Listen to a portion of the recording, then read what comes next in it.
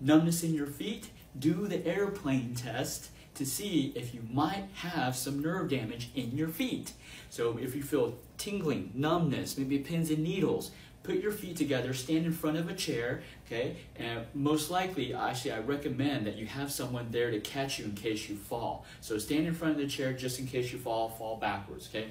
And so put your feet together, put your arms out, and then close your eyes. And stay like this for 30 seconds. If you have some nerve damage in your feet, then you will start going like this. Have your friend pay attention to see if you're going like jolting or like or moving like this and just imbalance. That means that the message between from your feet is not getting communicated to your brain. So there's a disconnect. And if you have a if you have a, a husband or a wife, you know if there's miscommunication, there's going to be lots of problems, right? So that's why you will be flying like an airplane. There's miscommunication. This will tell you that you might have some problems with the communication. Follow me. You got numbness, tingling all down your arms, your legs, then you want to do the basketball bounce, right? So this is the basketball bounce, right? So what this is, um, you know, there's different martial arts clans in China, and one of the clans was called Kunlun Pai, which is the Kunlun clan. And so what they did was they developed this exercise to exercise your the whole nervous system in your whole body, the nervous system in your whole body, right? So basically, it's like bouncing a basketball.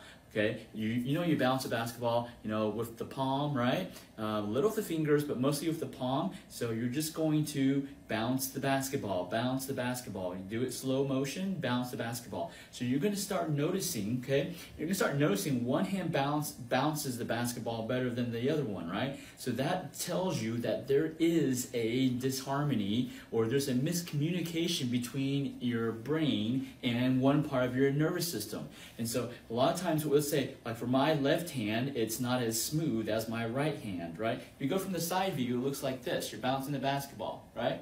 This is the bounce. This is the Kunlun Clan. Kunlun Clan basketball bounce secret martial arts technique. All right.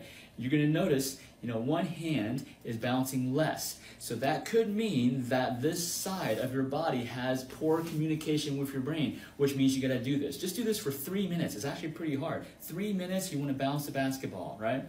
Bounce the basketball. Now it's not it's not rotating it like this. It's bouncing up and down. And it's not bouncing with your fingers, okay? It's bouncing with your palm. So when you're bouncing with your palm, it looks like this, right? You'll start noticing, oh man, my arm's getting my arm's getting sore, everything getting sore. That's good. That's exercising.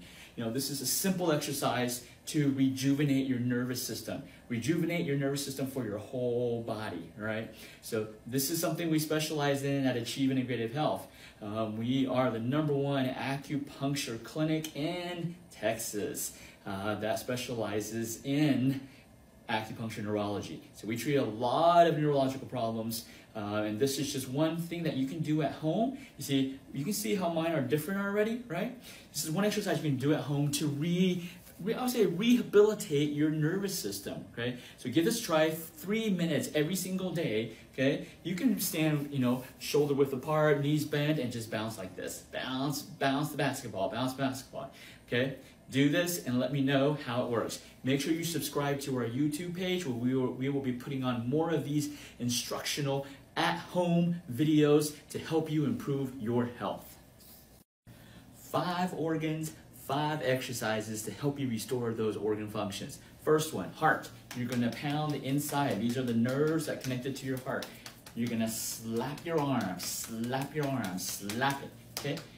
This is benefiting the heart organ, right? Number two, lungs. Lungs want to welcome oxygen. So lungs, open up the chest, lungs. These benefit the lungs, the lung nerves, and your lung function. For your digestive system, you're going to do the cha-cha.